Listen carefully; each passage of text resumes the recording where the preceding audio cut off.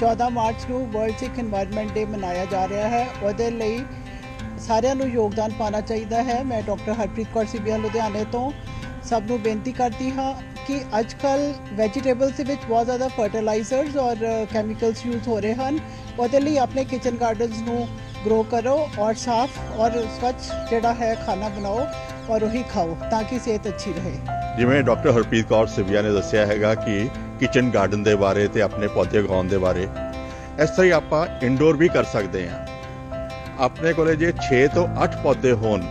Selected plant ਤੇ ਜਿਵੇਂ ਕਿ ਮਨੀ ਪਲਾਂਟ ਹੋ ਗਿਆ ਸੌਂਗ ਆਫ ਇੰਡੀਆ ਹੋ ਗਿਆ ਆਈਵੀ ਹੋ ਗਈ, ਤੇ ਆਪਾਂ 6 ਤੋਂ 8 ਪਲਾਂਟ ਜਿਹੜੇ ਹੈਗੇ, ਇੱਕ ਆਦਮੀ ਜੋਗੀ ਆਕਸੀਜਨ ਪ੍ਰੋਡਿਊਸ ਕਰ ਸਕਦੇ ਆ। ਅਸੀਂ ਆਪਾਂ ਨੂੰ ਚਾਹੀਦਾ ਹੈਗਾ ਕਿ ਆਪਾਂ 6 ਤੋਂ 8 ਪਲਾਂਟਸ ਹਰ ਬੰਦਾ ਆਪਣੇ ਘਰੇ ਲਗਾਏ। ਤਾਂ ਕਿ ਇਨਡੋਰ ਰੱਖਣ ਦੇ ਲਈ ਤਾਂ ਕਿ ਉਹ ਆਪਣੀ ਆਕਸੀਜਨ ਆਪ ਪੈਦਾ ਕਰ ਸਕੇ